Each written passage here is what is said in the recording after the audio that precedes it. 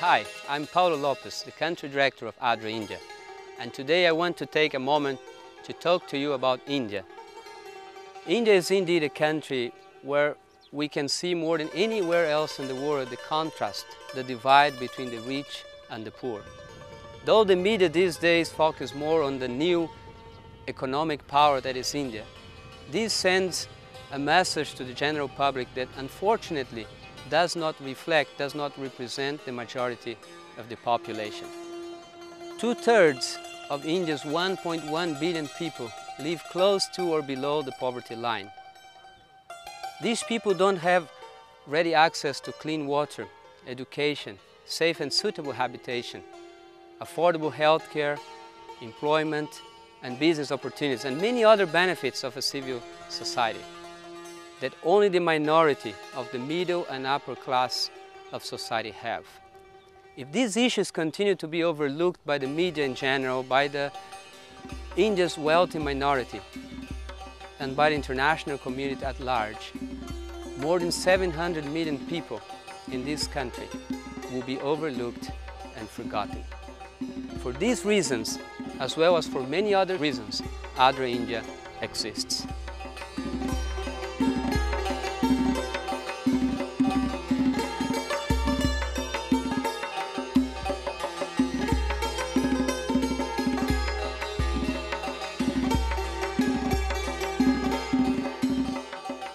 As you learn more about who we are and what we do, I hope this experience will touch your heart in such a way that you also will be willing to join hands with us to make India a better place for all.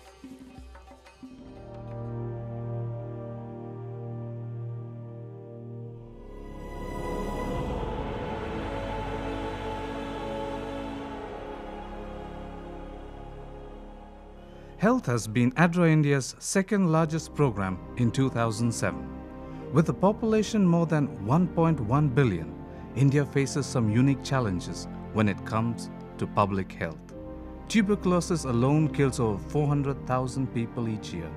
So we are working on strengthening community level detection and treatment through DOTS, the internationally recommended TB control strategy.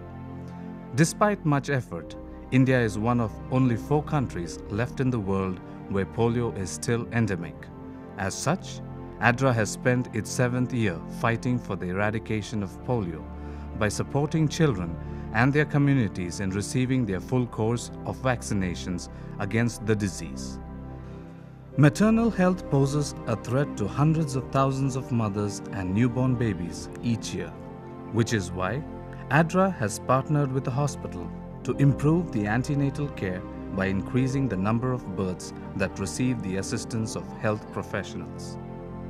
ADRA is also working to contribute towards the Millennium Development Goal number 6, combat HIV/AIDS, malaria and other diseases, of increasing the proportion of population in malaria risk areas using effective malaria prevention and treatment measures through providing malaria safe nets to communities living in malaria prone zones.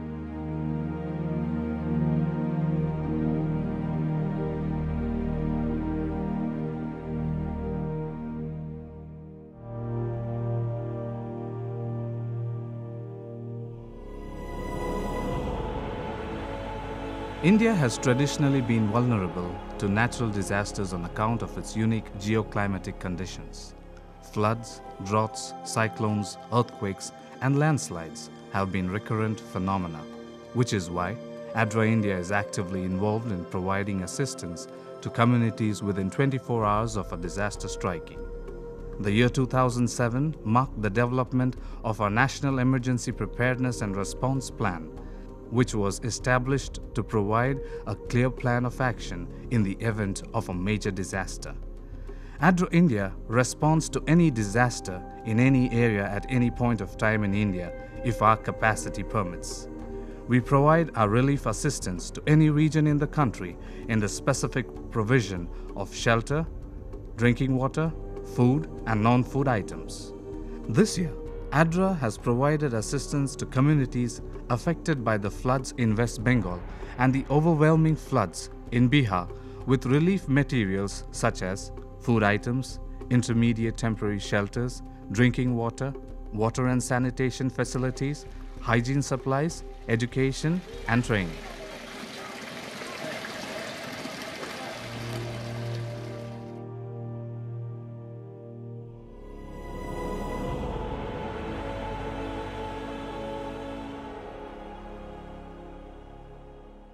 India is emerging as a major economic power as it has gone from producing simple exports to becoming a world leader in software and technology exports.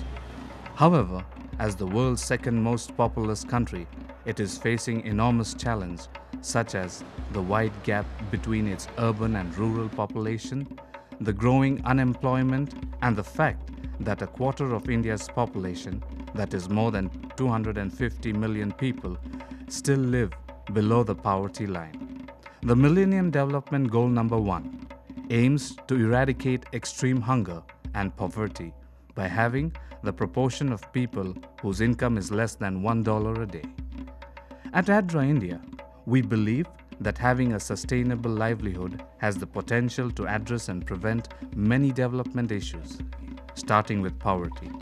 This is why our work of combining resources with the energy and resourcefulness of communities has the power to transform thousands of families in India. We are doing this by providing agricultural support to rural rice farmers through the system of rice intensification, by providing livestock assistance such as goat banks and the innovative EMU banks, as well as others that work towards a sustainable future.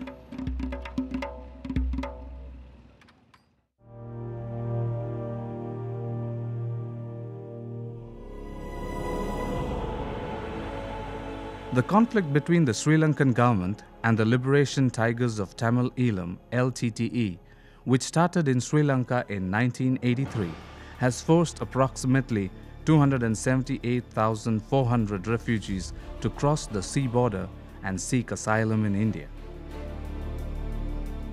As the fighting intensified in 2006, more than 20,000 additional refugees fled to India.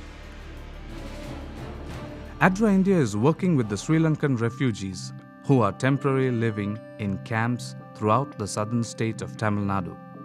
ADRA acknowledges that the life for a refugee is complex and multifaceted, and that no amount of assistance provided to families currently living in the refugees' camps can offer a permanent solution to their circumstances.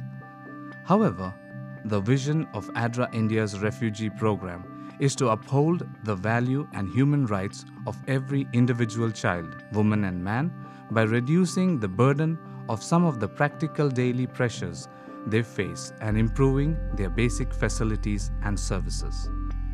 We are currently providing access to clean water, sanitation, hygiene and health, solid waste management, improved shelter conditions, and livelihood opportunities such as livestock rearing.